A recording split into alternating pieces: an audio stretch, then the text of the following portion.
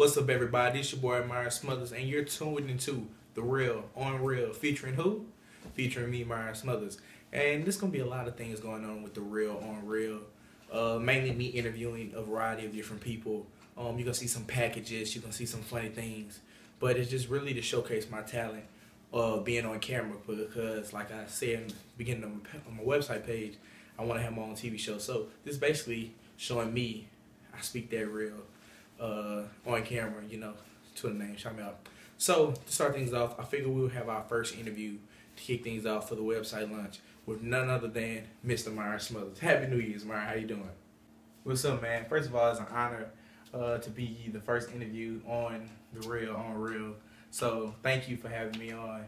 But uh, man, I'm excited about this year. A lot of things going on. I'm just just excited and ready to go. That's pretty much it that's good, man. A lot of people are interested in seeing what's going to be happening uh, with you this year. So if you can talk about what do you have planned for the new year? Well, honestly, I got a lot of stuff planned this year. First off, we got the website coming out soon, the Mind of Myron. Uh, might change the name. I don't know yet. We're gonna keep it the Mind of Myron for now, but the name's a working process. It can evolve later on. But um, I got that coming out, so that's basically a chance to just how they came apart how they came about is I started it from my TV show, The Hotspot, um, last summer, and I never did anything with it. So during the break, I was thinking, I'm about to graduate in a year. What's some things? What's something I can do to further promote myself?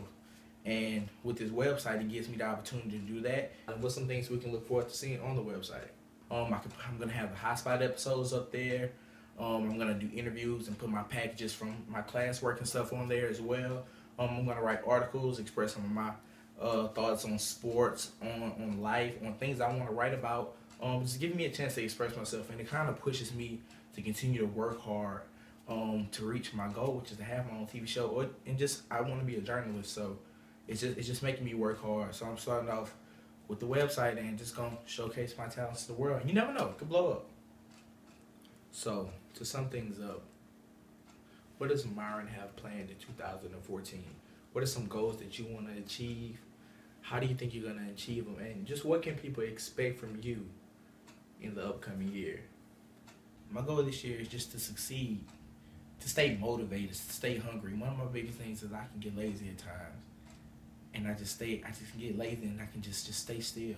But I want to just keep moving the whole year and accomplish all the goals that I've set for myself this year. That's from losing weight, to getting this internship, to getting a job, to to making everybody around me proud and, and happy, things like that. I just I just want to go for it this year. I went to church, and uh, on New Year's Eve, and the pastor said this year is about going get it. So she was like, "Go get it," and I just thought they hit me like they just hit me because she said if you was here, you were here for a reason, and I was I, I never been at church before.